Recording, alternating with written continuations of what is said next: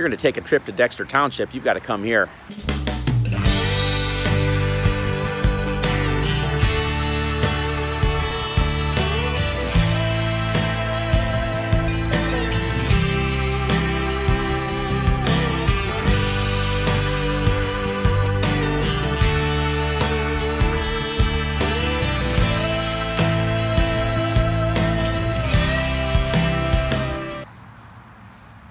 So this is the heart of Hudson, Michigan. The original Hudson, Michigan, the one that we now call Hudson Mills. This is downtown Hudson Mills, Michigan, the capital of Dexter Township. Of course, we're talking about the intersection of Dexter Pinckney Road and North Territorial Road, which are two of the most um, heavily traveled um, commuter routes connecting Howell and Livingston County with Dexter, uh, Michigan, and down into uh, I-94 for uh, drivers that go into Detroit and Ann Arbor. It's also a major connector from Chelsea and the areas of west of here via North Territorial Road all the way to US 23 where they can get into Oakland, the northern suburbs, etc. And this is also the commercial area of, of, of Hudson Mills. We're looking at a zone here that is, uh, I guess this is about maybe 20 acres that's zoned commercial, okay? So uh, there have been various master plans promoted uh, that would, uh, uh, would build some housing and possibly retail development out here. And, and in my view, it can be done very, very nicely. Uh, you know, I would like to see something that is a, a service to the community. Um, a nicely done grocery store, for instance, out here, or specialty shops would be a great service to the residents that live out here between Dexter and Chelsea and Pinckney um, and so that they wouldn't have to travel quite as far to get some of the necessities of life. But uh, we're looking at the, uh, the retail center of Hudson Mills. And if we look north of here, there's a dental office, and over there, there's some kind of a uh, Frank Lloyd Wright building that I don't know what, what they're doing with that anymore, but uh, it's kind of a cool house, but uh, it's not occupied presently, I don't believe. If you look at some of the architecture here, you'll see homes that were built in the late 1900s. They may remind you of some of the older homes in downtown Dexter. Those are original Village of Hudson homes, back when there used to be a couple of, uh, couple of village streets in there, a couple of blocks uh, before it was uh, kind of razed and smoothed over. Then when you look west of here, you get to a church and a daycare center, and there's a vet's shop down that way. So we're definitely into kind of a little little commercial center here. Oh, and then a little bit further east, you get to the um, to the Boyan Boyan Sales Company where they sell tractors and uh, farm machinery and so on.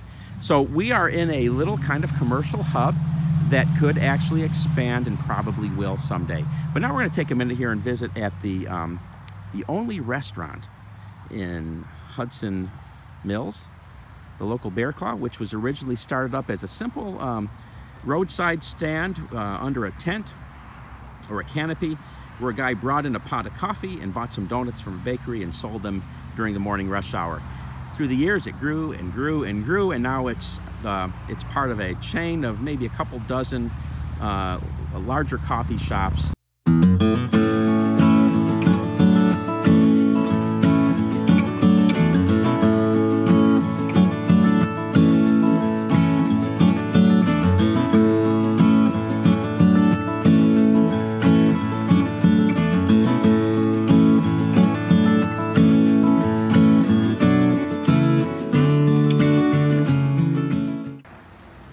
you're going to take a trip to Dexter Township, you've got to come here. Dexter Township Hall, which is located in the old site of the original Hudson community, the Hudson Village. Um, and uh, this is the capital of Dexter Township, the area known as Hudson Mills. Now, it says Dexter Township right here, which uh, this is the Township Hall. But in reality, we are standing in the community formerly known as Hudson or Hudson Mills.